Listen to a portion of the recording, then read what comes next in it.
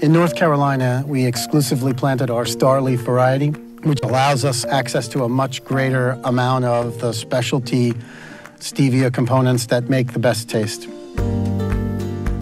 We put in a two acre trial last year and uh, had some success with that. This year is our first commercial level attempt at stevia.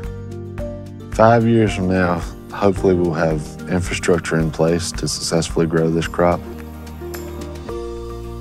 We'll have the mechanization from front end to harvest uh, all the way through so that we can take some of the hands off of the plant and be able to produce more acres with a more consistent quality. Our partnerships in North Carolina will increase our supply of stevia from North America.